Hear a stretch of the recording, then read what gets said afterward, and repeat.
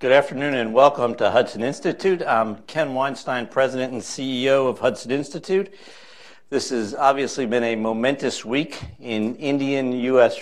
relations, and we're especially honored to have uh, His Excellency Arun Singh, the uh, Ambassador of India to the United States. This is, this is apparently your one little bit of a day off in what has undoubtedly been the busiest week uh, since you've uh, been ambassador here. This was, of course, Prime Minister Modi's fourth visit to the United States, the third, his third U.S.-India bilateral summit. Uh, I was particularly honored to be among the uh, think tank uh, heads who were given the rare opportunity to meet and brief with the prime, brief the prime minister on Tuesday evening.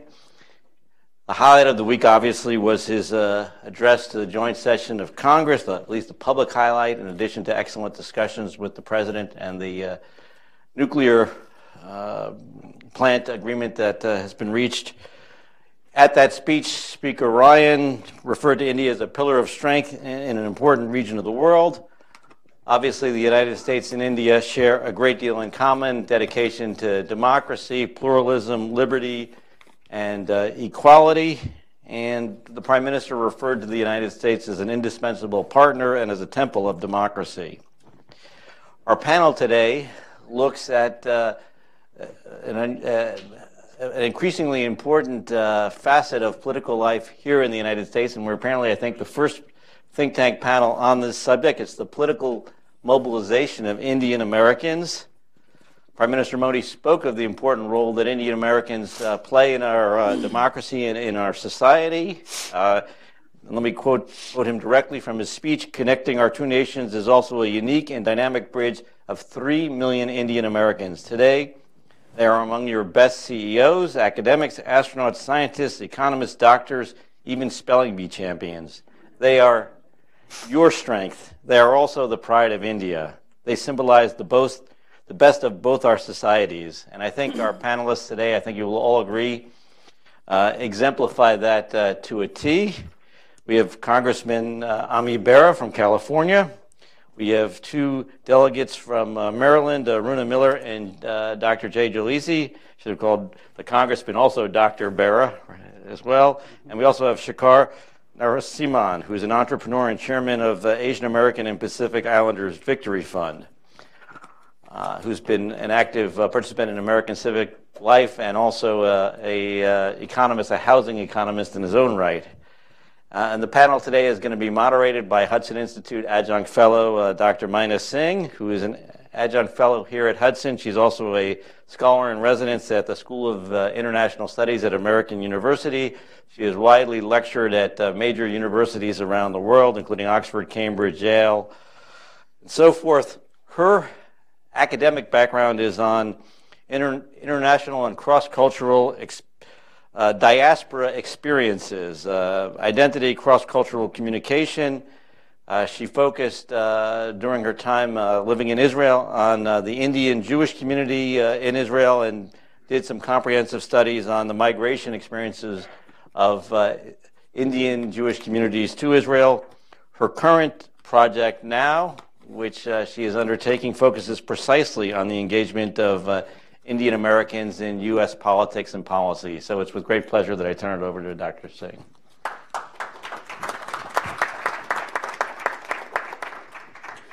Good afternoon, namaskar. Um, President uh, Ken Weinstein, I'm deeply honored that you have made the time to be here. Uh, I also appreciate the presence of Ambassador Arun K. Singh. These are people who have many other things to do, and in appreciation of their being here, I would like to recognize them. I'm delighted to see so many people attending here. I also see familiar faces here, uh, people, young people who had conversations with me about getting fired up about joining politics. They're of Indian American origin. I would like to recognize Anurag Verma. I would like to recognize um, Vikram Iyer. I would like to recognize um, Jay, uh, Jay Kansara, um, uh, Tanveer Kathawala, and others if I've uh, if I cannot see you, forgive me for that. Um, I would also like to recognize Dr. Mahinder Tak, who was my first entry point into meeting young political aspirants, and I appreciate the support that she has always given, also in partnership with somebody I have on the panel here. So, um, uh, Dr. Ken Weinstein actually stole my opening line about beginning with uh, Prime Minister Modi's speech, and he actually uh, spoke about the 3.2 um, million Indian Americans, saying, You are the pride of India. And when he said that, the resounding applause that followed from members of America's political leadership is a sign that their constituents of Indian American heritage are indeed a community being acknowledged appreciated, and even admired today. Their financial and professional successes, work ethics, family values are the typical staple of such appreciation. But what about influence? Not just buying and selling companies, but shaping policy, running for office, demanding from those who hold elected office in their regions. Despite the Dalip Singh Saund's election in the 1950s and the appointment of governors Jindal 2007, Haley from 2010, the Indian American political journey has been slow.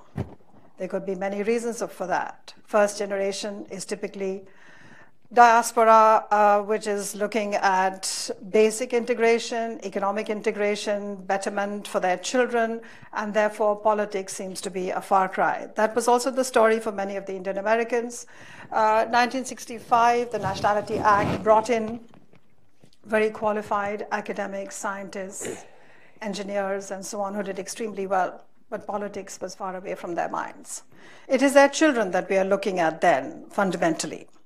However, if wielding political clout is the last bastion through which an immigrant community bids for its place at the table, then I believe that the Indian American community today is poised at a key moment of transition and assertion, no longer shy of politics and shy of risk taking. There is a generational shift too. We have examples today from across the US.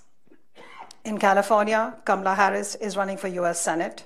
In Washington state, Pramila Jayapal is running for US Congress. In California, again, Ro Khanna is running for Congress. In Chicago, Raja Krishnamoorthi, who has just been uh, endorsed by President Obama. In Louisiana, Abhay Patel, a Republican, is running for the US Senate. Some candidates are quite young. In the past few weeks, I have met two very determined young women Kesha Ram, who is running for Lieutenant Governor in Vermont, and Jennifer Rajkumar, who's running in Lower Manhattan for local office in New York. Our objective today is firstly to foreground this enhanced political buzz and hear some voices from within, which we hope will generate ideas for action, maybe even a conference. It's time, I think, to see more Indian American panels in the DC discussion circles. Secondly, to understand the policy implications of this shifting paradigm in voting, in funding, and in issue based consolidations among the Indian American community. I have a very distinguished panel here. Congressman Ami Bera is the only Indian American currently serving in the Congress 7th Congressional District, the furthest away from me.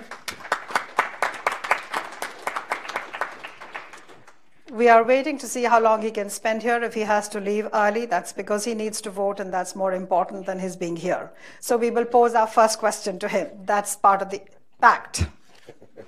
He serves on the House, House Committee on Science, Space and Technology, on the House Committee on Foreign Affairs, and the Congressional Caucus on India and Indian Americans.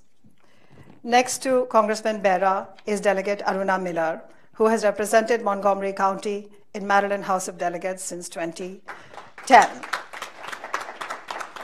She's a member of the Ways and Means Community uh, Committee. Um, I keep using the dates that they may have won the elections. 2010 is when she won, and as she as she informed me, 2011 is when she joined. So if there's a discrepancy in the years I quote, it could be the year that they have won elections, as opposed to the year that they actually joined in, um, uh, in January or February. Uh, next to Delegate Aruna Miller is uh, Delegate Jay Jalisi. Uh, Delegate Jay Jalisi has represented Baltimore County He has represented Baltimore County in Maryland House of Delegates since 2015. He serves on the Environment and Transportation Committee as well as the Judiciary, Commi- uh, Judiciary Committee. Uh, to my right is Mr. Shekar Narasimhan, Managing Partner at Beekman Advisors, Chairman of, is it Papillon or Papillon? Papillon. Okay, I stand corrected. And the co-founder of the Emergent Institute in Bangalore, India. He's been appointed commissioner on the President's Advisory Committee, uh, Commission on Asian Americans and Pacific Islanders. He's chairman and founder of the first ever Asian American super PAC, the API Victory Fund, which is what we will talk to him about. He is also, in that sense, first generation uh, of the Indian Americans who came in after 1965. So he does represent another point in the history of the community here. And so uh, his perspectives are going to be very valuable as we go forward. Um,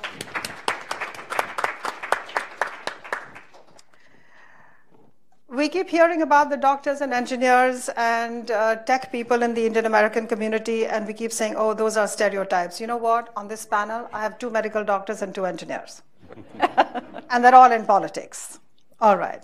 So I should also add at this point that um, I'm not a policy person. I teach uh, from a sociological perspective. I teach courses on diaspora and identity. And in the last eight years, I have been very closely um, associated with the School of International Service at American University, where I teach courses on diaspora. I've had the experience to learn from a lot of millennials, both of Indian American origin and otherwise, and discussions about how they see themselves uh, within politics in the US and how they view the world outside. I have learned much from them. I have also learned a lot from the Indian American community and through my exposure to them. Uh, which has been very wide and across the country in many different regions. I've had the privilege of meeting with Indian American communities from anything like um, uh, occasions where there might be felicit, uh, felicitating um, somebody who has run for office. It might be a meeting of an organization uh, like the API, which is the um, Conference of the Physicians or the hoteliers who are also now organized into a fairly strong lobby and they have a pack and Anurag at some point will make an intervention about that as we break into Q&A. Uh, my exposure to the Indian American community and my um, uh, special connections with many of the second generation have taught me much about the way the community is evolving, changing, and shifting. And that is what fascinates me. Uh, so it is that which brings me uh, to this. I've probably by now had at least 100 interview conversations with Indian Americans on this subject. I have a little disclaimer here that our panelists on stage should not sing, signal a deliberate political leaning. To begin with, I'm not Indian American. I vote in India, so I have no political stakes in who should be at the table. There were also cancellations, and we were not able to get people who were not in town.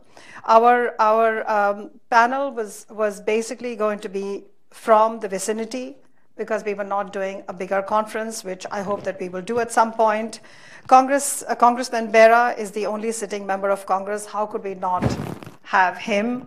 I'm so honored that he's in town. But the others, all of us on stage here, are people who live in the vicinity. I have, of course, um, been aware of this and therefore decided that we would like to make this um, event um, use a crowdsourcing model. So I have two people in the audience who will respond with a Repub- Republican perspective. And so we will, at the end of it, have a very nuanced discussion, I hope. So my first um, uh, question um, in respecting your time, Congressman Bera, is to you. And um, I remember how your election um, generated so much excitement in the Indian American community. Your success represented a moment when Indian Americans uh, believed that their aspiration, political aspiration, was realizable. So, keeping that in mind, today, as we move from aspiration to goals, you're able to see the big picture. Um, what would you set as a five year goal for the Indian American community to become a political force? I, th- I think a couple things. If um, I think about my own story, you know, my parents immigrated here in the 1950s. You know, um, I was born and raised in California, lifelong um, Californian. So I grew up fully um, immersed in the American experience, but also rooted in the values that you know my, my family brought with them: values of hard work, values of building for the next generation.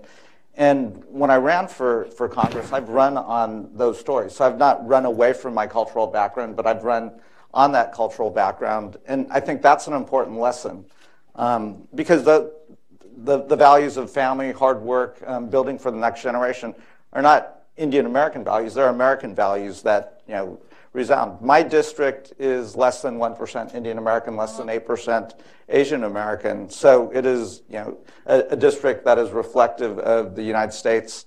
Um, it also is you know, the most evenly split district in the country, 40% Democratic, 40% Republican. So, you know, I, I don't run as a Democrat or Republican. I run on the values and the things that I care about. So as we build that pipeline of the next generation, I think we have to run on who we are and what we contribute to the fabric uh, of American society. Um, so strategically, though, if we're thinking about how we broaden this, you know, something that, that I think Shekar will, will touch on, you know, within all of Congress, there's really um, 14 voting AAPI members. And really, if you want to have influence on your values, the things you care about, whether that's higher education, public education, um, you know, giving everyone a, a fair shot, you know, a, a, fair immigration system, you have to strategically probably get to about you know, 25 to 30 um, members who can then move legislation in a block. So people have heard me you know, um, talk about strategically thinking about electing six AAPI members in 16, eight AAPI members in 2018, so 6 and 16, 8 and 18, and 10 and 20. So then you can you know, get to a, a, robust number of about 30 individuals with shared values, shared goals, and then you can start to influence legislation. But I think we have to be systematic and strategic. You know, in this election cycle, you just named off um, four potential Indian Americans that, that could get elected. Kamala Harris in the Senate, um, Ro Khanna, Raja Krishnamoorthi, uh, Pramila Jayapal. So this could be a, a banner year in terms of expanding influence. Um, secondly, you know, Indian Americans have to, and Asian Americans more broadly, have to participate and vote, right? I mean, mm. it, you know, certainly support candidates, but get out there and, and actually actively participate and vote. And you may see at the presidential level, and again, we'll hear from, from, from Shekar some of the, the strategies, but there are districts, and precincts where the Indian American vote or the Asian American vote can actually you know, move the needle. So making sure we're recognizing those, we're reaching out to those communities, and we're actually actively um, talking to those communities, which is incredibly important. So would you have a goal of five years from now, how many in Congress? Well, the goal then, so, so again, 6 and 16, 8 and 18, 10 and 20. So within the broader AAPI community, if we can get to um, the, the Congressional Asian um, Pacific Islander Caucus to get to 30 members, then you actually have the ability. You know, we saw 40 or so committed um, members on the Republican side bring a speaker down. So you can um, move and influence legislation on things that we care about. So the two really um, uh, important things from uh, from your remarks that I take away. One is the importance of authenticity, which is uh, embracing the heritage and working with that. And your example you say has been successful in that and that's what you would you would urge as as an important thing is don't be somebody else that you're not and absolutely. and that that works with the electoral uh, constituencies. And the second thing is interesting i will add a footnote for for people who may not be aware of the movements that are going on that i keep using the word indian american but there is this indian american hindu american asian american identity spectrum and people identify at different levels with that. And in terms of political strategy, there's a shift, discernible shift among many who are strategizing and thinking consciously of where to go, is to say that yes, the Indian Americans have wealth, they have skills, they have they have many other things going for them, but they don't have the numbers. So if you're trying to move the needle You have to work for strategies that help that issue. And so AAPI is the, uh, is the, is the uh, short for Asian American and Pacific Islanders. Now, I know from conversations that many young Indian Americans who are politically very conscious have gone back to their parents and said, you know, you have to join AAPI. And they said, are you kidding? What do I have in common with somebody who came from Hawaii? I'm Indian. So I think those things are happening. But there is clearly a shift in many more Indian Americans who are born in the US are more comfortable with that pan-Asian identification. And we'll have more of that from, from Shekar as we come. But these are wonderful uh, segues into um, uh, bringing the conversation to a more localized experience.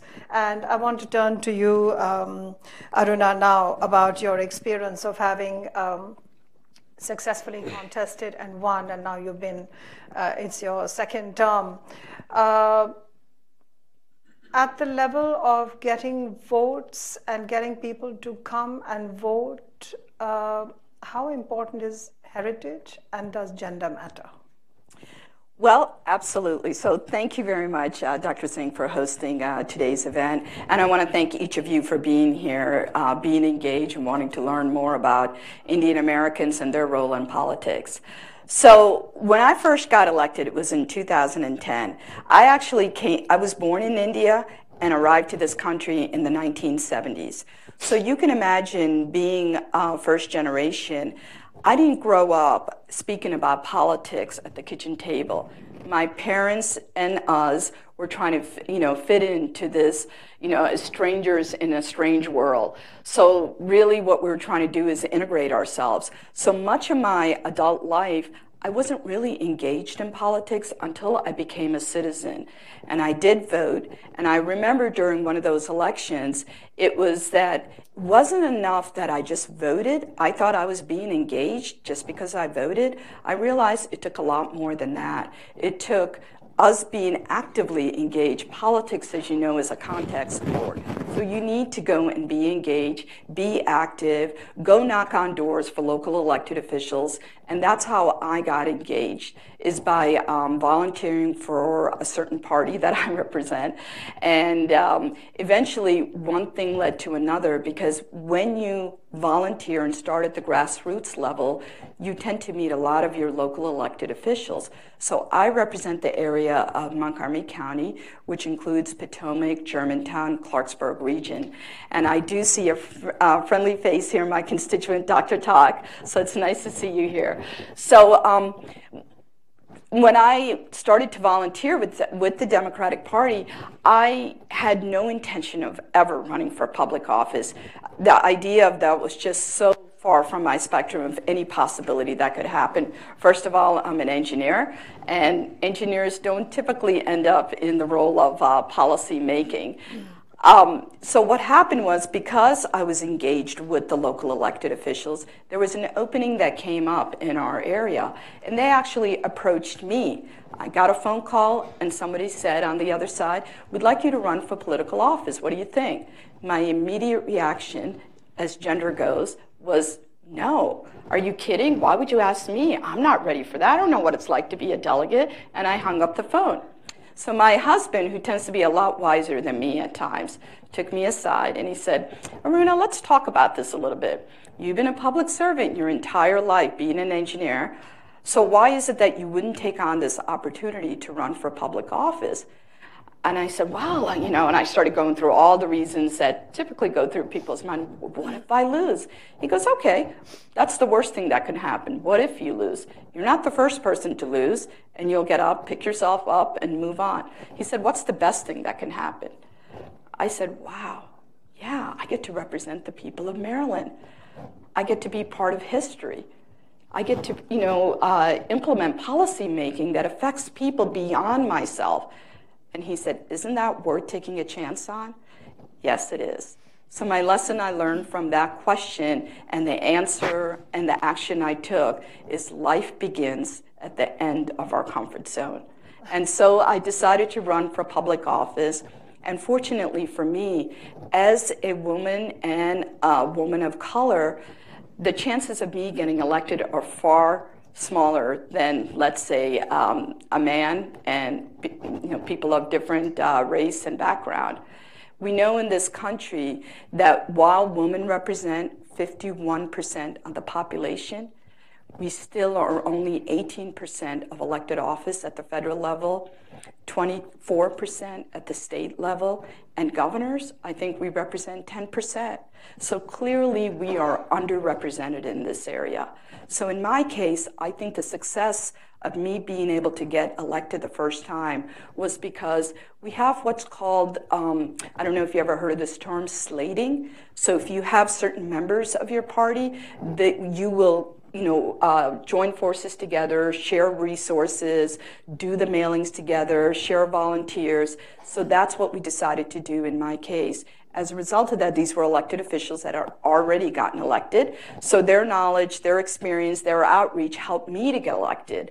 So I think if I didn't have that type of support system for me, I wouldn't have been able to get elected. So I'm very grateful for the, um, you know, all the help that I received, not only from other elected officials, but the Indian American community also banded together and came out, supported me.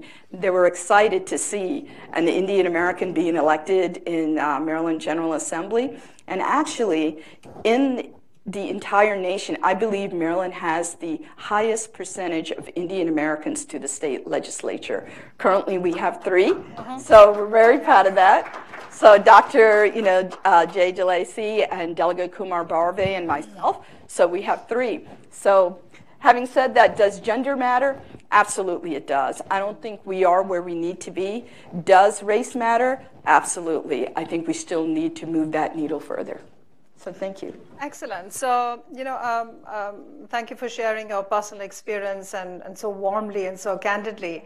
So, Aruna, the importance of mentoring comes out directly because we're also trying to have this conversation to see where we can take young aspirants to think. Personal stories are very um, empowering, they're also very inspiring. But does the community need to do more to, for example, set up uh, networks where they can create those mentoring spaces. The ones that you found where you were lucky. You know, you were about to give up that option, and then your husband said, wait a minute, and then you came round. But a lot of Indian American young people whose parents, in any case, are probably saying, hey, why politics? You have a job in the government, you're an engineer, keep it. Mm-hmm. You know, I've had I've had uh, conversations with people who said I was saying I'm going to address this big meeting of the community, and they said, you know what? Why didn't you become a doctor? It would have been so nice. You know, so it goes on that way. Uh, so, do you suggest that the community should be making stronger efforts at that? Absolutely. So the great thing about at least the Maryland legislature, unlike Congressman uh, Bera here, is that you can continue to be whatever profession you want, whether it's a physician, doctor, teacher, firefighter, because the Maryland uh, legislature is a citizen legislature. That means it's part-time. So January through April, we take a leave of absence from our full-time job and go serve in Annapolis full-time 90 days. After April, you come back, you go back to your regular job, and you continue to serve as a legislator on a part time basis. So it's really the best of both worlds that you have in this role. And whether or not, you know, go ahead and be a physician eh, or engineer or whatever field it is, policy making, I realize, affects every one of us, no matter what our profession is. And I often tell our community this a lot of times when I meet with immigrant communities, they'll tell me, you know, politics, oh, that's so complex, it's boring. And I said, you know what? You may not be interested in politics, but politics is very interested in you. And here's why. Because from the moment you wake up in the morning, the water that you're drinking, is it clean or is it not? That's policy making. Look what's happening in Flint, Michigan. The schools that you send your kids to, are, do they have sufficient funds? That's policymakers that are making those decisions. You know, the, the roads that you're driving on, do you have the infrastructure there? Policy making. How much taxes you're paying? Policy making. And whether or not our country is at war, at peace, policy making. That's why it matters that we need to be engaged, no matter what our profession is. So thank you. Thank you. So um, I'm going to move uh, to uh, Delegate Jay Jalisi, uh, who has a similar experience. Maryland won elections. He's not born in the U.S. but not like um, Aruna, who was a little child. He actually came, he was educated and raised in India. And um, he told me a story a few days ago, which was very fascinating. He said that most of his volunteers in his area were, in fact, not Indian American. And he added a little bit more, which I want him to, to speak about here. And so I want you to reflect, uh, Dr. Jalisi, who left his medical practice, by the way, of lucrative medical practice, and, and joined politics. So I want you to reflect on the issue of acceptance, that you came in very late. So how has it been for you to be accepted at the local level, to be voted in? And what would be some of the lessons you will learn to tell young people who are hesitating? So my experience was, and this is my first term. I've just this is my 18th month in office. This um, as having been elected to the Maryland General Assembly. Um, as Aruna said, uh, we have a South Asian caucus with Aruna and I and Kumar Barve. Um, and uh, my I'm the first, I think, the first immigrant elected from my county, which is Baltimore County of, of Maryland um, with a very small South Asian um, uh, community. And, um, and I was active with the democratic politics, and I kept my issues which reflect or which connect with everyone jobs, safety, and education. And my, my feeling was that um, if I talk about issues which are important for everyone, better education, better jobs, and uh, safety in our neighborhoods, it would connect with everyone, whether you are South Asian, Indian, um, uh, African American, whatever. And um, I ran a very grassroots campaign.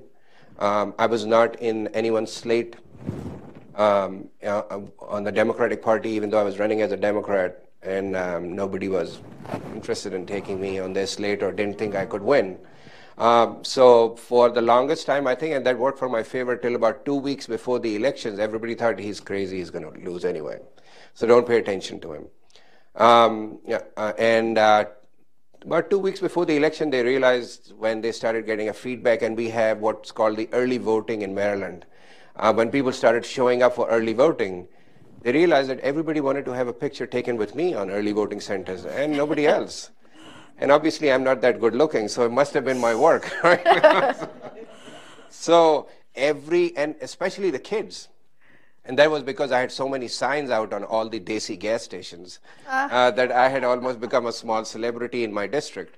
And so every child would drag his or her mom over to me and say, I want to have a picture taken with him and and then obviously mothers never deny their kids whatever they want. So they would have a picture taken with me.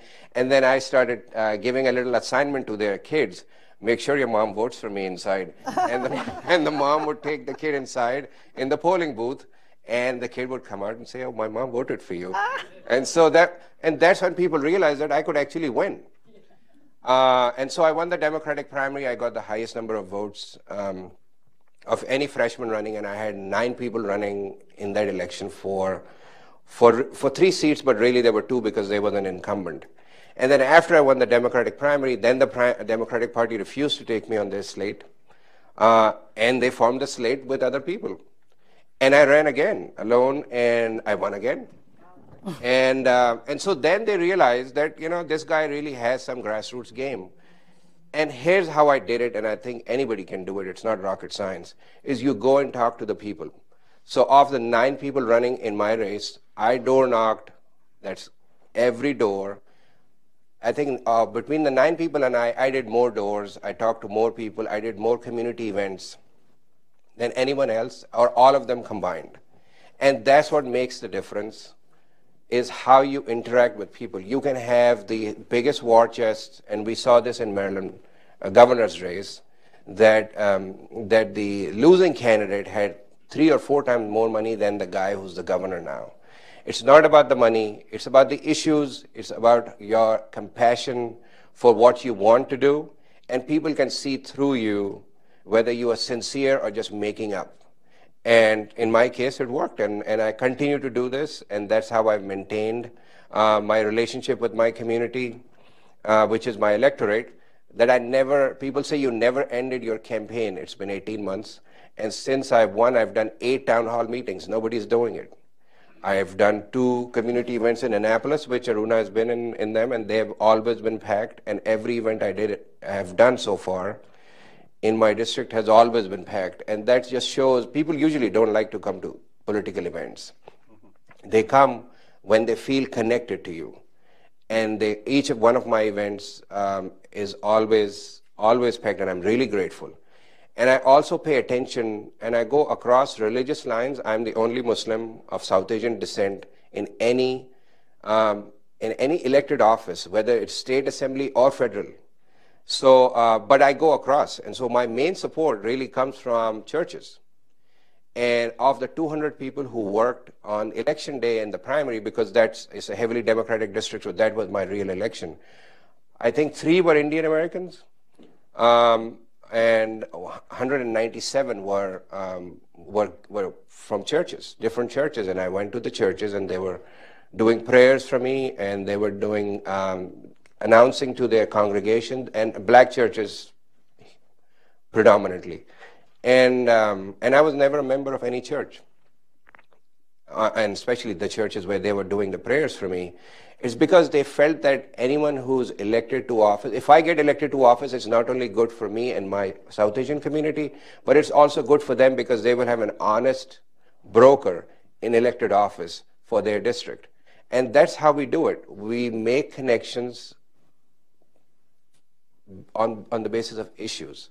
And that's what I think is the way to go. You, org- you can uh, organize your community as much as possible but at the end of the day, it is the general masses who should be convinced that you would do the right thing by them. And that's what I suggest. Dr. Jalisi, are you sure in your medical school they didn't have uh, courses on government and politics? No, but I, but I, unlike Aruna, I have, um, I have a family in, uh, in, in India um, who have been um, MP, who has been an MP, and then uh, my, my, my aunt married someone in Pakistan, and he's an MNA. But my own um, experience in politics was I got elected to Johns Hopkins Student Council. that was it. so, yes. Um, uh, Congressman Bera has to leave, and for a greater cause, we will just give him an applause and say, thank you so much for coming. Thank you. Absolutely. Thank you. I want to see more people on our panels who have to rush to vote in the House. So, you know, more power to everybody who is aspiring. Um, some very interesting things came up in your um, in your remarks, uh, Delegate Jalisi. One is that the authenticity, uh, again, the idea of authenticity of being on the ground is so critical, and it's not so critical that they that your voters identify with you in terms of culture or religion. You have really knocked that uh, notion out of the window to say that that is a critical part that if people identify with you because you belong to that church that's going to work for you You've, your, your experience is completely to the contrary right. the, uh, what, you, what you and aruna have both said um, tells me something about how important perhaps mentoring is because you've also said in, in one case the democratic party whoever your party was or colleagues helped and mentored and supported. In the other case, they didn't actually. So ultimately, what mattered was that people voted for you, that the people really wanted you. And I think the other really important thing was don't stop campaigning when the campaign is over. Right. And that comes to me as, as an important takeaway for young aspirants to say, you know, there's something that goes on all the time. Don't go back to them two years later and say, you know what, hello, we were there two years ago and now I need you back again. Because people lose interest, attention spans are short, memories are, political memories are really short all over the world. So I think those are really important takeaways. What, what I see also as something to, to move forward and consolidate politically is also has it become important for, for, you know, this is for everybody here, we can talk in the Q&A, the importance of setting up spaces where young aspirants can actually have mentoring workshops from you, online, otherwise, virtually, yeah. whatever. What are we doing about Can I that? add something to Yes, please. There's one more thing which I've learned through through my experience, and which is not huge, but never be ashamed of your own self or what you believe in. And during my campaign, people would call me, and, uh, and this is the Democratic primary election, so they would ask me if I would support marijuana smoking. And, you know, and I knew that if I said yes, the person might vote for me, and if I said no, the person might not, because a large segment of the Democratic Party is, is very liberal and they think that marijuana smoking should be legal. For me, it was not an issue, so I said no. So you have to take a stand because people also see through you when you're uh-huh. just saying yes for the uh-huh. sake of it. Uh-huh. Uh, a rabbi, who's chief rabbi of a big uh, synagogue in my in my district, in my neighboring district, but has congregation in my district, called me and said, you know, I, I like um, this program on TV called Big Bang Theory. right? Well, most of you have seen it. It's got an Indian character, um, a, a, doctor, uh, um, and and his sister Priya so he said, I saw this episode, and you know, Priya is dating Leonard, another character. And I'm just explaining it to you so you understand how people sometimes misunderstand. Mm. Said, you know, when, uh, when Priya does the online video chat with her, with her parents in India, she asked Leonard to go away. So is it because Indians are anti Semitic? Mm. And I said, no. Priya doesn't want her parents to know that she's dating Leonard because the parents would, would hit the roof not because Leonard is Jewish, but because she's dating. So, so, so, so, you know, you, I mean, it's not that, I mean, I'm not apologizing for the culture we have. I'm just explaining it. But you have to take a position and try to explain it in the best way possible. And they understand. And so he became one of my biggest supporters. And he announced in his congress, and, you know, we, nonprofits, whether they're churches or or uh, Jewish synagogues, they cannot endorse a candidate. But if anyone, can, uh, uh, and, and, and it's more so more more important in the Jewish um, synagogues. But he was he was just like, I'm going to endorse you, and I said, you're going to lose your nonprofit status. Mm-hmm. So he said, okay, see what I do. He called the, his entire congregation and he said, you know, I can endorse him, but he's my best friend. So if you are going to vote for someone, you should vote for my best friend, but I'm not endorsing him. right? But it is because I explained to him and I did not apologize for what I believe in. And at the same time, there is always room for adjustment. And it may not be the, the answer he was looking for, but he knew that I was being, an, I was giving him an honest answer. And that's what uh, people look. Aruna will tell you there was a candidate in Montgomery County who spent like half a million dollars on a delegate race, right? Mm-hmm. And he still lost. And it's because it's not the money, it's not, um, it's not uh, how, how fancy your, your publications are, your mailers are. It, people want authenticity. They want to know that you are the person they can send their kid to if need be, or come to you at any time, and that you would at least try your level best. The results are not guaranteed, but you're guaranteeing your best effort. And I think that's what comes through. Thank you. So I think the important segue that we have now into the conversation with uh, Shekar is um, that we've gone, the trends show that we're going beyond the ambivalences about identity. Hyphenated, I'm Indian, not Indian, can I say I'm Hindu, can I not? So every candidate is dealing with that differently and very confidently and going beyond that and in fact strategizing and building coalitions, which brings us exactly to the kind of work that, that um, uh, Shekar Narsimhan has been doing. He's an unusual first generation who, who, began very early advocacy for the community to jump into to politics. Um, he's been with the uh, uh, White House Initiative on Asian Americans, and the issue really here is the issue of representation. That of the registered voters, apparently only 55% actually go out and vote, and the establishment of the, of the um, AAPI Victory Fund.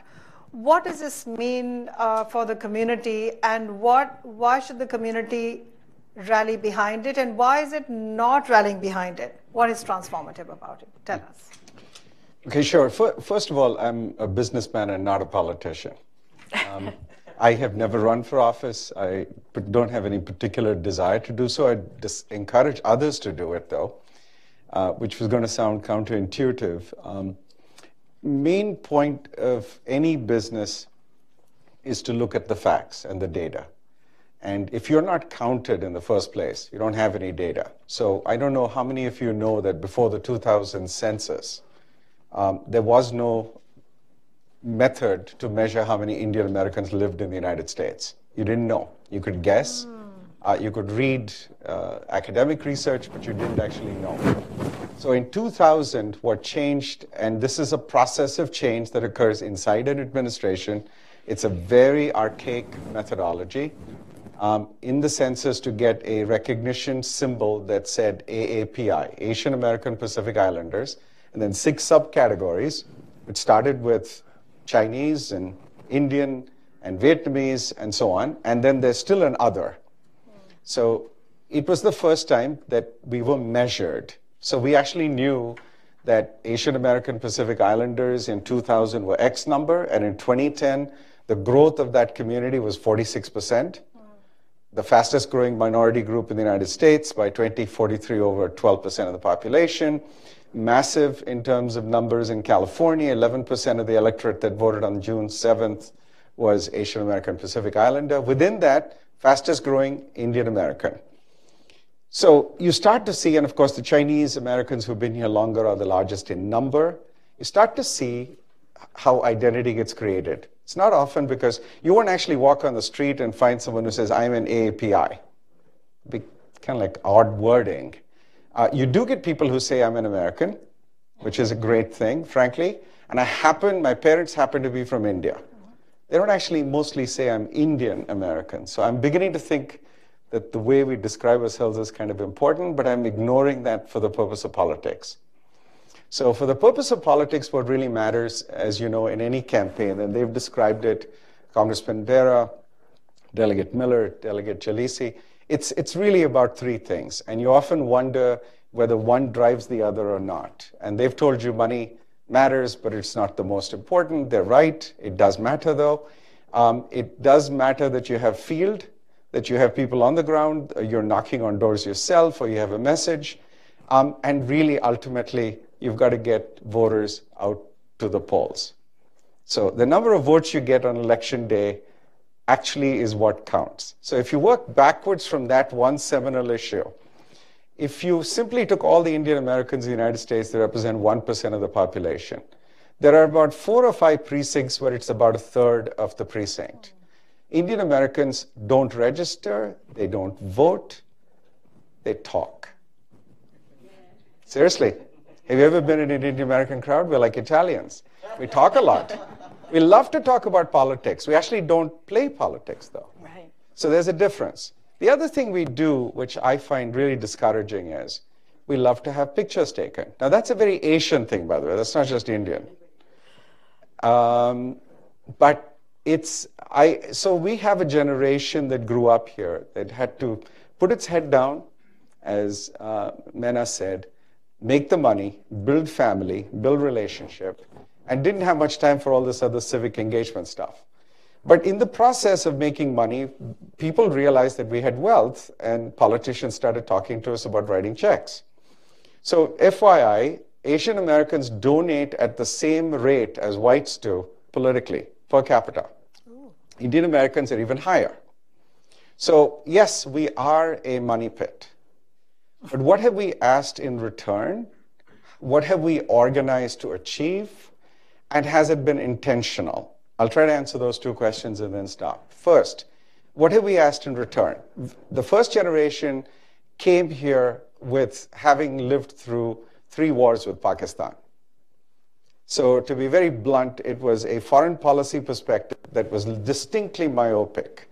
So, if you took my uh, siblings, other siblings, and put us in the same room and we were talking about India, we had a particular perspective about relationships with in South Asia. They couldn't care less. When I talk to my son about the sale of F 16s to Pakistan, he says, What is an F, what is a 16, and why do we care? so they have a very different perspective. so there's a generational shift that has happened that we better accommodate and naturally in that generational shift because they have a safety net which is another thing i remind the next generation of they have a safety net they can take risks we took incredible economic risks uh-huh. but we didn't take the risk of exposure politically or otherwise they can take the risk of exposure because damn it they've got their folks behind them they got a place like my son did in the recession to come stay in the basement. Uh-huh. Uh, they can get help with a down payment. Um, so they have this advantage, but how are they using it? And have we really shifted the discussion from being counted, people knowing our numbers, people knowing where the wallets are, and how to take advantage of that? First of all, They have, because they're much more actively engaged. If you go to any gathering, and you saw in the White House in March or April of 2009, there were roughly 18 Indian Americans working in the White House.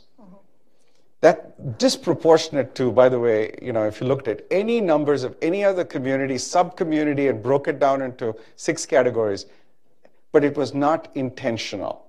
Most of the people that I knew didn't know those 18 people, and more importantly, didn't have a whole lot to do with their getting where they got. Oh. And what's wrong with that? What's wrong with that is we can't legitimately expect all 18 of them to turn around and help other people like them get to the next level and grow and build. Uh-huh. I think we can expect them to. Because if you run through politics and you have to shake hands, you have to raise money, it's the same thing, by the way. An investment of time is equal to an investment of money. You should not differentiate those two. But if the community at large didn't have a whole lot to do with how people got into positions of influence and didn't support them, it should not expect in return that they're out there advocating for us or asking us what our issues are. So what we are building is a different kind of movement. We're trying to get away from this notion of segregated politics, frankly. We're talking about the Asian American Pacific Islander community as though it's homogeneous, which it is not. 42 countries, 108 languages, etc.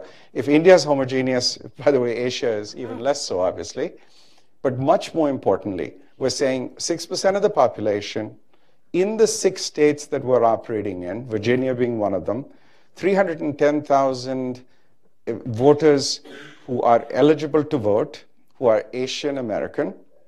That, by the way, is roughly the same number as Hispanics fastest growing, grown by over 34% in terms of potential number of votes just in four years since the last presidential. If mobilized, right now they're under register, under naturalized, under registering, and under voting. So less than 20% of Asian Americans vote, less than 15% of Indian Americans. It is simply pathetic. It's because people haven't understood the relationship between what happens here, Jay, despite all that you guys are saying. How does the world change because you elect or don't elect somebody? And by not participating, haven't you already really made a decision? You've effectively voted by saying, I'm not voting.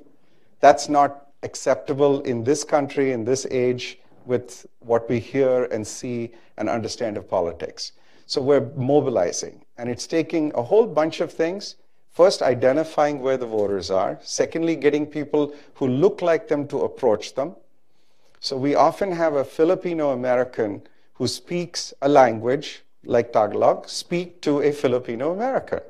Why would it be wrong for us to run ads in Hindi and Telugu and other languages when even if it is only a small subset of voters, because those voters, believe it or not, I'm going to leave you with this example.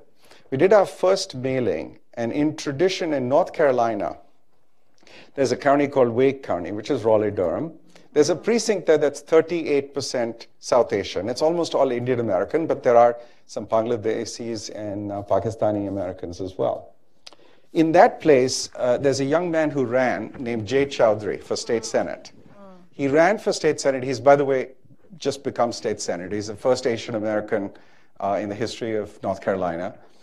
But when he ran, he assumed something. He said, boy, this precinct, 38%. Now, in a state senate race, off year, even in a presidential primary year, it's about 20% turnout. If I can just turn out my community, I look like them, I speak like them, my family lives here, just by 10 points higher, I'll win this election. So he did nine mailings to this group. He did four door knocks. So this is how you count in elections canvassing. And he did three media messages, social as well as um, through the television. 10% of them voted. We came behind him after the primary was over, and we did a messaging campaign in that same place in Wake County to Asian Americans, but we then we knew a lot more about them than he did because of data. We had found out what language they spoke, because we could look at credit cards, and I hate to tell you this, but I could find out everything about any one of you just if you had a credit card. Um, we knew what kind of movies they were ordering. We knew which restaurants they went to. we could do a very targeted type messaging to them saying, even though you think you might have registered to vote, I don't think you actually have. Would you mind registering to vote? And then we used WhatsApp and messaging to get messages from others in the community to them. Because, by the way, one of the most important questions we ask early on is, have you registered to vote? And in every Asian gathering I've been in, 99% of the people raise their hand. Half of them actually haven't. it's because they think they have. Because they've talked politics with their neighbors and friends, they think they're active. In that community alone, we got an 8% response rate with new registrations. So we've registered more people in Wake County, North Carolina, through very targeted, systematic methodology to register to vote. Now, I don't know how they're going to vote. That wasn't our intention. Our intention was to prove to all the larger campaigns and the parties that by spending money and resources in a very, very discreet manner in a place that really does matter, that we could make a big difference. So that's what we're trying to do, Lena, and I hope we're successful in our six states, mm-hmm. and I think we'll be the margin of victory in 2016. Can I?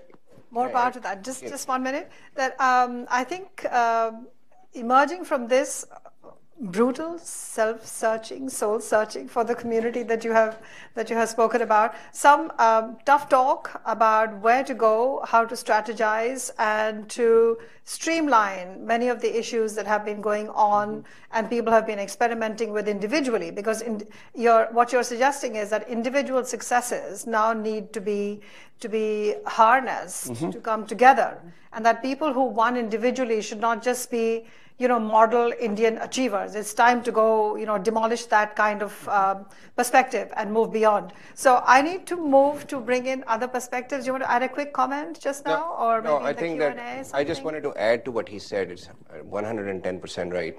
Um, and the and the 15% who may be registered also feel proud that they are not registered with any party, mm-hmm. which basically kills the whole purpose because most of the elections are either decided in the Republican primaries or Democratic primaries. And, and, and I give you an, a small example of my own kid. My daughter is, is, is very interested with the Bernie Sanders campaign, and she wanted to, um, to help with the campaign. And I said, But you're not a Democrat. You registered as an independent, which, by the way, in Maryland, there's no such thing as independent, it is unaffiliated. So why do you want to influence the Democratic Party politics? But it is a question which we all have to ask ourselves is, in my district, if you're not a registered Democrat, um, you, you can't help me. Uh, in her district, Aruna's district also it's the same thing, but I'm sure there are other districts where. So when you ask people to vote, also ask them to, vo- uh, to choose a party. Mm-hmm. Because just by being independents or unaffiliated, whatever it's called in your respective jurisdictions, you're not helping anyone because the decisions are made in the primary elections, and the generally you're just reaffirming um, what has been decided by the parties. Yeah, and I would like to also, that's, that's a lot of what I face when I face, um, come to immigrant communities. When I ask them if they're registered with a party, they're like, oh, no, no, no, I'm an independent. I don't want to be forced to pick a certain candidate of a certain party.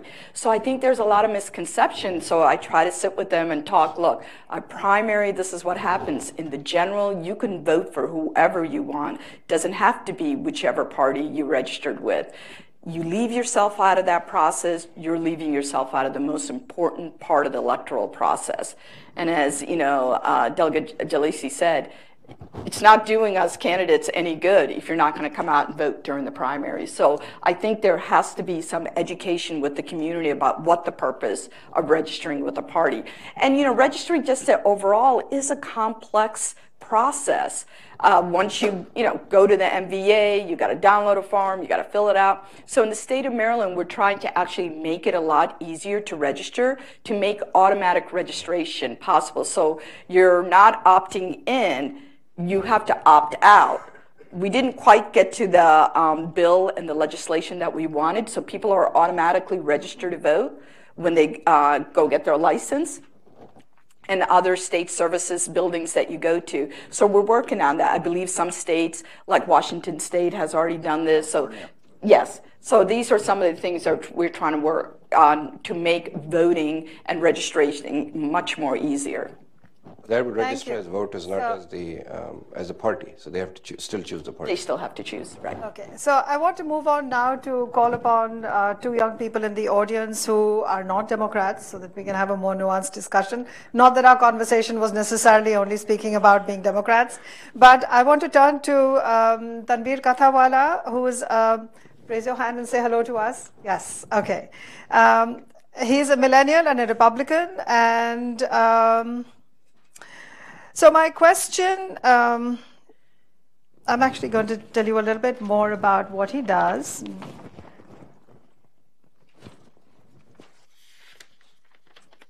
Excuse me. He's a principal and founder of Pioneer Strategies, formerly management consultant also with IBM, associate at NextGen Venture Partners, an early stage venture capitalist firm. He's also been with JP Morgan Chase, where he did some work in 2013 to do with government and public policy.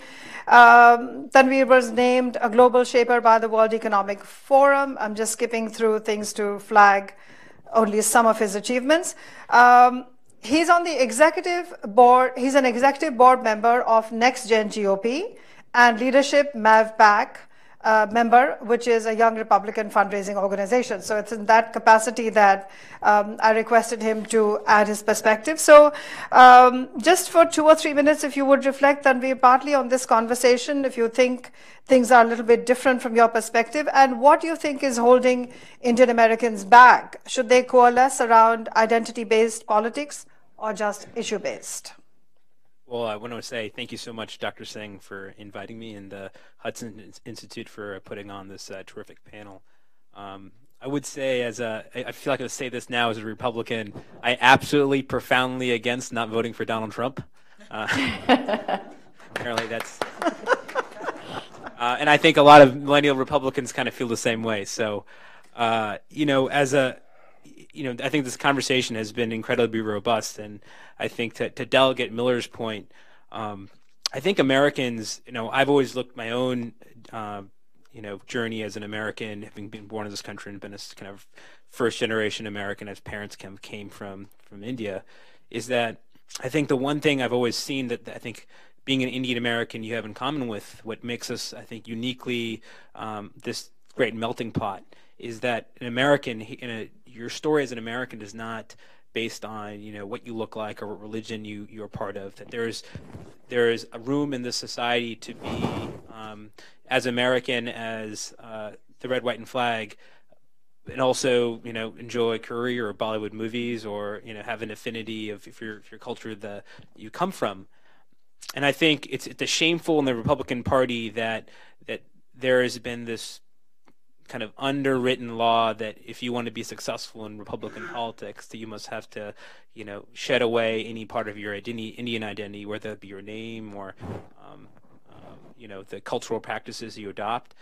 And um, I think that the, the, the my generation really sees that there's a there's a healthy balance too. That you can be um, you can serve with the National Guard or you can be in movies and TV. You, there's you know Indian doesn't necessarily have to be the person who fixes your computer or the person who gives you your, your checks you up with the doctor.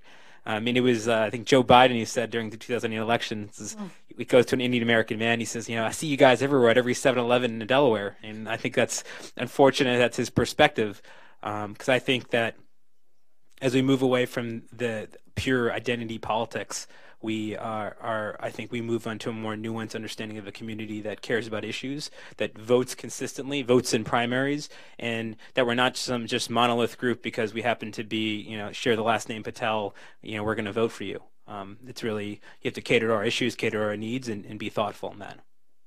So are there groups of, are there cohorts uh, of young Indian American Republicans like yourself? Is there vigor in that community? Yeah, so so Next Gen GOP is a is a Virginia-based political group, um, and the goal is, you know, I think Sh- Shekar would appreciate this. Is like a lot of millennials don't register to vote, and the decisions are made in the primary process. So we we did this big thing of like if we registered more millennials, the, the problem in the Repu- Virginia Republican Party is that that the the big decision that chooses uh, who the general election candidate for governor or senate is is whether the party is going to have a convention or primary. And if, if it's a primary, it's generally much more a candidate who is much more mainstream that can have a legitimate chance of winning.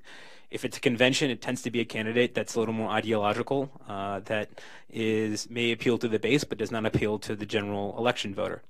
So we said if the, the, the, the body that makes that decision in the Republican Party is the State Central Committee of Virginia.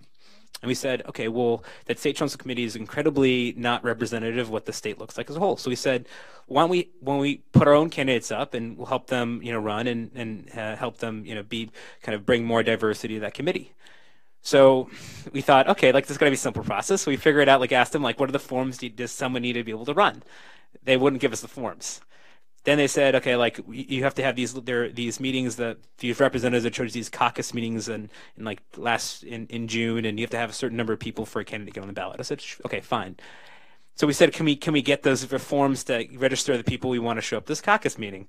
And they said, well, uh, the forms are being made, we can't give them to you, and, and all that. Then they said that if, if you want any new person to register to, to go to this caucus meeting, they have to be a Virginia voter for the past like four election cycles. You have to pay an $80 new voter caucus registration fee they just made up on the spot.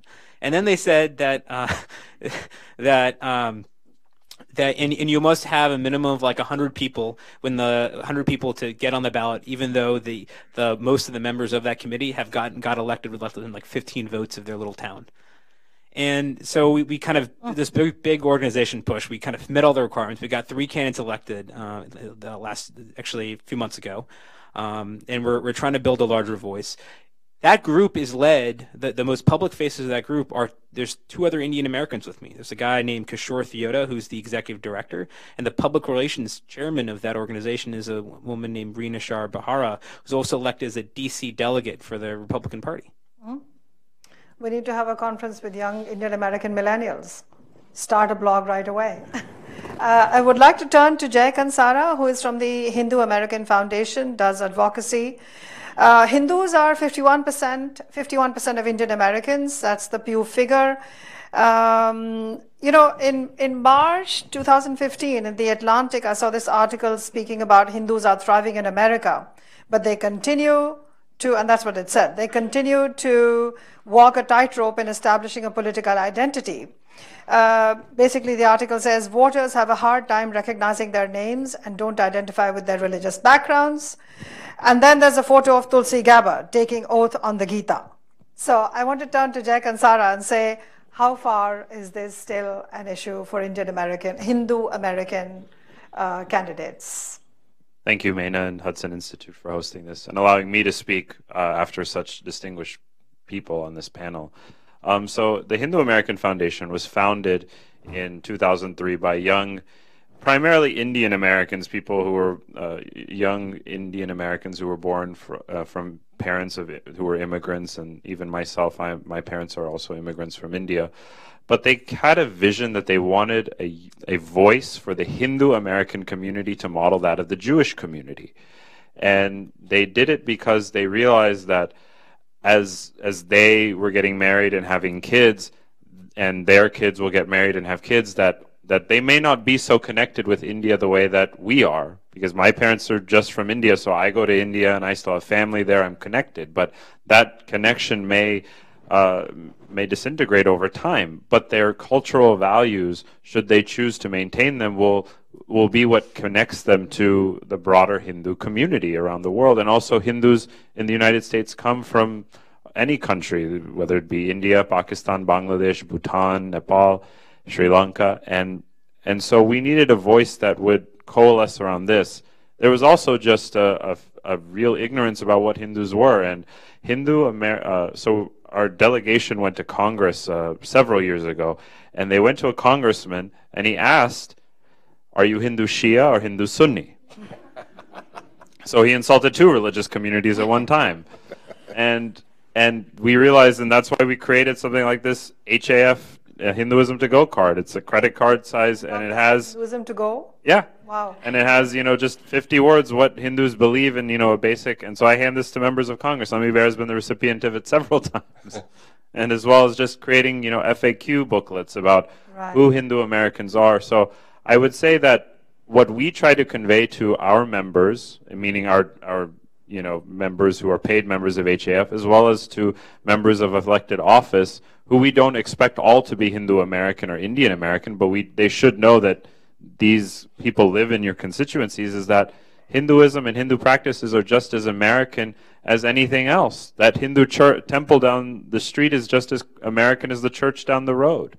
And once that um, once that level of understanding is there within the community, they are able to become more mobilized on political issues, and, and they may be issue based or they may be partisan based, uh, based on the the demographics of a constituency or whatnot but they can still be mobilized. They can be more informed, both the elected officials as well as the constituency. Right. So we know that all Indian Americans who are of Hindu extraction may not actually say, I'm Hindu American. They might still say, I'm Indian American. So, um, does the Hindu American label actually become a problem when they're running for office or it doesn't matter? Have candidates said anything about candidates or other people, appointments, whoever, in your experience? Is there other issues about a strong religious identity being asserted, xenophobia? Yes, xenophobia definitely exists as, and, and it, it, it takes root at the education level. We're actually in a very uh, serious debate right now at the California State Board of Education about Hinduism, how Hinduism is portrayed in the public school textbooks. Right. But yes, religion in American politics, you cannot extract it uh, for better or for worse. And so uh, it, it may become an issue, but what we try to portray is that Hindus, uh, you know, what, what the values that Indian Americans bring are, are primarily from a Hindu uh, or from Hindu origin, you know, assuming that they are, assuming that they identify as Hindu and they should be proud of that. That these are right. these are just as American as anything else. And if I may add, uh, plug in a plug in event we're hosting. You you asked for you said we should do a conference. HAF is actually hosting a conference, uh-huh. uh, our first inaugural policy conference on June 20th. So if anybody's interested in attending, uh-huh. it's here in Washington D.C. and we'll go, we're going to delve into issues that are important to Hindu Americans, including human rights of Hindus persecuted in uh-huh. uh, South Asian countries as well as domestic issues. And we are a nonpartisan 501c3 organization, so I do not endorse candidates from any party. So, are a lot of your Hindu Americans Republican or Democrats? What's the trend? We actually, uh, even on within HAF itself, like our national team, we have a mix then and they and some Hindu Americans, like I was just speaking with Neeraj Antani from Ohio, yes. and he identifies strongly with the Republican Party based on his his interpretation of Hindu oh, practices and beliefs. And I was found that very refreshing that somebody was that thoughtful in determining their political affiliation. Now, somebody could just as easily choose the other side, and many do, but there should be that connection that I believe this, and therefore I want to associate politically this way. Right. For those of you who are not so familiar with Hinduism, I should say that um, we do not have one holy book and we do not have one particular day that we all agree we should worship on. And so it is really a philosophy that's open to interpretation. So there might be people who interpret democratic values out of it, those who interpret Republican values out of it. Uh, that's a matter open to interpretation. And Hinduism is so fluid uh, and so philosophical that you don't really need to be a temple goer to be a religious Hindu. You can actually just be contemplative. So, and also that Hindu and Indian are, 80% of Indians are of Hindu extraction, but we have 20% of those who are others. So it's not really synonymous. It's a big number. So, yes. And um, uh, India has the second largest Muslim population in the world. So that's our minority. That's minority. Second largest Muslim population in the world, and the second largest number of Shias after Iran are not in Iraq, but in India. So do not assume that we are all Hindu. You have examples in this room. I'm fortunate to say that we are not. Uh, we are 80% Hindu. Um, and we are the Republic of India. So that's to texture the conversation. Thank you very much for those perspectives. Uh, we may have run a little bit over the discussion, but we have time for questions. I will take a cluster of three questions together, and please say who you would like to address those questions to so we can be efficient. One, two, and three, and then we go this side. Question, please. If you bring the mic, uh, mic here. Gentlemen in front. Uh, yeah, okay. One question, second and third. Yes. Yeah, many um, issues were. Uh, Do you have a question? Uh, it's, it's in general. I'm, I'm, right. I'm, actually running um, a campaign effort for one uh, Mary Thomas running for U.S. Congress from Second ah, District in Florida. Thank you for being here. Uh, recently, and I have done fundraisers for uh, Democrats as well in the past. Okay. One thing I notice when we go for uh, campaigning with the Indian community to raise money is the, their reluctance to open their wallets is a major concern, because when an Indian is running and we have to support, they come up with uh, excuses like, okay, I'm a Republican, I'm a Democrat, whatever, depending on the situation, not to participate. For example, yesterday, when I was talking to somebody to raise money for Mary uh, in the second district in Florida, it's kind of a cattle country, he found out that she's supporting NRA. Yeah. And I said, okay, um, even the Democratic candidate from that district is supporting NRA because people are running to get elected, not to make a statement. So would you rather? Would you rather? To interrupt you, could we have a question because we have people. No, no. I'm just uh, just uh, in asking uh, these guys. You know, yes. have they have you faced uh, you know fundraising okay. as an issue from the Indian community okay. since they are reluctant to uh, contribute? Thank you. Basically. Yeah, we'll have a second question. Sorry to interrupt you, but yeah. Uh, yes. Okay, and then gentlemen. Hi there. Thanks for a great panel. Uh, my name is Danish. I'm a freelance writer. And uh, my question uh, was more about the mentoring aspect of what you said. You talked about mentoring the youth and like the first generation Americans. However, however one thing I know, I'm sure y'all are familiar with the, the voting dynamics in India, which people grow up with. So when uh, people immigrate to India, they all of a sudden, I feel like sometimes they, they themselves the adults are in need of political socialization uh, as well because they don't really know because uh, there's that forgive me for generalizing there's that notion of voting your caste instead of casting uh, your vote in India. And then uh, these immigrants are not re really familiar with the political process and nobody's really extolled the virtues of such a process to them. So do you think maybe uh, mentoring new immigrants who are also just as busy assimilating would help uh, you know further mobilize? Thank you. Okay uh, question? Yes, thank you all for coming here today. And my question is for Mr. Narsimhan. Uh, so in other parts of the world, and Australia is one example, citizens face compulsory voting laws where citizens face a uh, small fine if they do not cast a vote mm -hmm. in an election. And uh, I think this introduces both solutions to a problem and possibly more problems. And I was wondering if you think that that would be a good idea for America. Wonderful. So we have a funding issue uh, to do with Indian Americans. We have to do with political socialization for first generation. I think we all agree on that. And uh, then to do with should we make it mandatory for people to vote in any state? Go ahead, respond. Sure. Any, anyone. Yeah. I'll, I'll, be happy to take on the funding issue. So yes, I do face a lot of uh, challenges when I go before the Indian American community. But having said that, the biggest percentage of campaign funding I get is from Indian Americans. Ah. So oddly enough, that's how it works out. But there's situations where I think it's in our culture to always be agreeable. So when I go up to an individual, and let me tell you, as a politician, the most difficult part of mm-hmm. being a politician is fundraising. It's very awkward. You have to get on the phone. You have to go right up to a person, and say, you know, I really could use your support. Would you be willing to do a fundraiser? It takes a while to get used to that. And then you put the other person in an awkward situation as well. So in our culture, I think we tend to be very agreeable. Oh, sure, honey. We, yeah, yeah, yeah. I will do it. I will do it. Then I follow up with a phone call and I don't get a response back. I'll do a text. I won't get a response. But the people that have been supporting within the Indian American community have been most generous to me than anyone else I know. Other um, ethnic background groups are consistently, they give money, but a smaller percentage. But the Indian American, I notice, tend to give a larger percentage. And, you know, one of the things you'll often hear in campaigning is that signs don't matter. Let me tell you something, signs do matter. You know, winning a campaign is a million little things. So when I first ran, I was a totally virtual unknown person.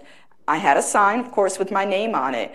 And I had an Indian American that recognized the first name as being Indian American, but the last name didn't quite sound Indian American. Mm. So he went back, looked my name up on the website, and he's like, oh, she does look Indian American.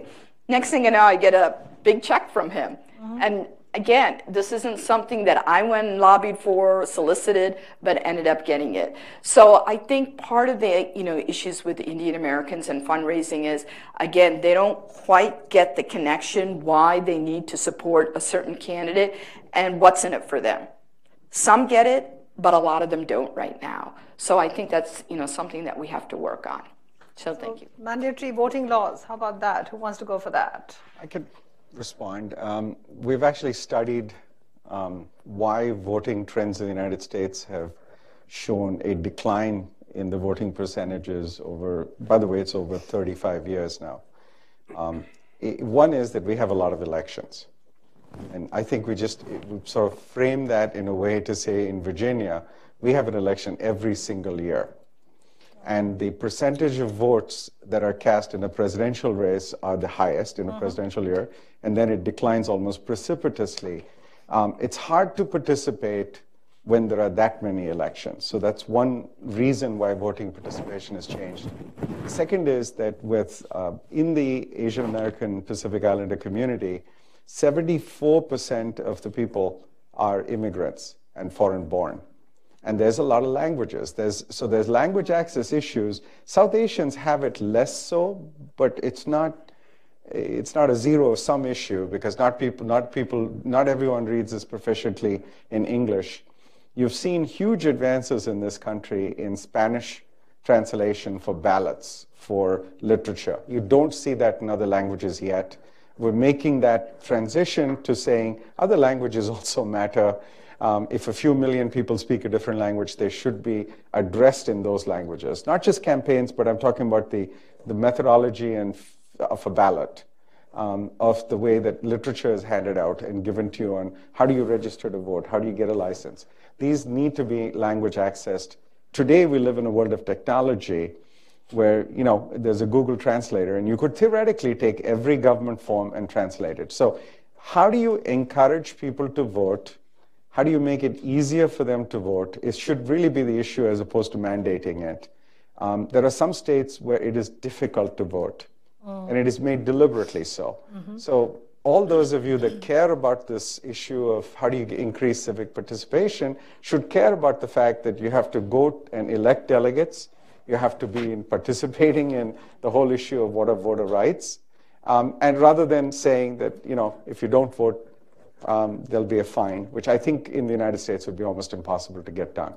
Um, on fundraising, um, I've been fundraising uh, theoretically uh, with Indian Americans for uh, politics since 1984. Since Mondale, I'm aging myself. I have not found Indian Americans to be very different in terms of raising money than pretty much any other group, frankly. The only group that has seen a existential threat and writes checks because they see existential threats are the Jewish uh, community. That's the only group where they understand, it's almost like tithing in a different way. But no other community, um, except when faced with that kind of an existential threat, writes checks because they think if I write a check, it makes a difference and I, my children will be differently served. The Indian American community has faced no such threat. Now, that's not to say we don't have issues. Uh, we have the highest per capita income, but we also have a 9% poverty rate. People don't seem to know that. There are 400,000 undocumented uh, yeah. overstays, uh, Indian, in the United States uh, today, who are totally in the shadows. So we have issues. If you can translate issues and educate people, you can get people to write a check, but they still want a return on investment. Now, return on investment in the United States isn't getting a lucrative contract, hopefully. Um, it's much more about access, getting your issues, and having a seat at the table. And if you can educate people on what those things are, I have found a very loyal group of donors, and we actually seed fund candidates um, that don't appear to have even a prayer of winning because the assumption is if they lose once, they'll get up and run again. So there is a, I think, a group now of angel investors in the Indian American community. You're going to have to find them and they may not support the politics of your candidate or her party or otherwise. Um, all the polling we're doing says that, like other many other communities of color, um, APIs and Indian Americans are leaning Democratic much more heavily. And it, you know, it's really up to the other party and their candidate to fix that. We, I can't, you know, fix it for you. Uh, you have to fix that problem yourself. So interesting things here about, uh, to your point about political socialization and also about seed funding, the new trend uh, and its consolidation about seed funding candidates and angel investing. And I want to just for a moment call upon Anurag, who's been working with the organization of hoteliers. So take one minute to tell everyone so we can follow up your work maybe on online or something to say what the Hoteliers Association are doing with this pact they have formed. They have 15,000 members. Uh, they own 45% of all the hotels in the United States. Oh. Um, and this thing about um, existential threats and money, they feel that their industry is under attack. Oh. So they have raised half a million dollars in their own PAC. And this year, their actual goal is to exceed a $1 million in their political action committee. Um, money for candidates. Bipartisan? Uh, bipartisan, but they lean Republican. Okay. They uh, they are nonpartisan actually, but if you were to talk to them, Mhm. they lean heavily Republican, um, and their and their PAC spending is probably two to one, Republican Democrat. Um, but but so when we talk about our community, there are slices that don't fit. So first of all, the whole panel's been amazing, and I've been in politics 19 years. I mean, it's you hit all the notes, right? But one of the one of the notes I want to mention is there are slices like the hoteliers, right, that don't fit the model, right? A fifth of our population, a Shekar uh, Indian American in this country, are the new immigrants, um, the you know the folks who maybe came here on H-1Bs, right, um, in the last 10 years that are my age and younger. The tech. I mean, invisible in a different way. Um, I mean, so I mean, there's there's there's lots happening. There's lots of slices. Your panel is only an hour and a half. I mean, we should probably stay till four. Um, but Next will be our conference, half a day on the millennials and beyond. So, two quick questions from this side, so I don't neglect anyone. Quick question. Sorry, no time for comment. Yeah, thank you. And to whom? Uh, this is for anyone on the panel who wants to address it. Sanjeev Joshipura. I'm working right now with an organization called Indiaspora, and we are on our way to being the next Davos of the global Indian community in 10 years' time. But uh, my question for the panel is, and it's been a great panel, uh, as uh, Anurag said, my question is, as has been spoken about before, it seems to me, and Shekar may know the numbers better than me, but about 75 to 85% of Indian Americans tend to vote Democratic, I've read before when there is this lopsided of voting for one community for one party, the concern I have is that both parties might end up taking that community somewhat for granted. In one case, because you're always going to vote for them. In the other case, because you don't matter because there are too few of you. Any thoughts about how we can solve that issue, solve that problem of not being taken for granted by both parties? Okay, question? One more? Something else? All right, good. So we can. The, the very quick answer to that is that it wasn't always the case. so it can change. Uh, Vietnamese Americans, as an example, that came uh, as boat people in the 1970s, 1975, were heavily Republican and voted and trended Republican for a long period of time. In the last 12 years, they've trended Democrat. And it's now gone from you know 2080 to 60-40 Democratic. You cannot take any community for granted especially one as heterogeneous as the Indian American and the Asian American communities, you better work hard, you better message, you better touch their issues, and you better touch their pockets for investments. Otherwise, you can't own them. I would just like to add um, I think you're seeing this uh, for two reasons. One is as a person of color and a minority, um, myself and other people who look like me, feel that the Democrats at this time and age connect more with the minorities. And that's why you see us getting confused when we see people like Donald Trump getting the nomination of the Republican Party, who is against women, against Mexicans, against Hispanics, against every conceivable minority group. And so that is a big hindrance. But like he said, it's not written in stone. And when I, I think about till I would say 10 years ago, but even sometimes it's true, um, uh, that people who came, immigrated to this country, um, the diaspora, if you will, came with their own um, image of things which were important for them. So um, somebody said that when people immigrate to America, they, it's like a snapshot of what their country was at that time when they left it. and so every time they go back, they try to find the same, the same problems and the same benefits. When they come here, they treat everything else, including politics and support of, of different parties, the same way. So somebody who is a 70-year-old um, uh, uh, Indian who came 30 years ago would probably always remain a Democrat. Uh, somebody who's a 70 or 75 year old immigrant from Pakistan will probably always be a Republican because their snapshot in their memory is what Republicans did for the for where they came from back then. Now, it doesn't mean uh, it's the same is true for their kids.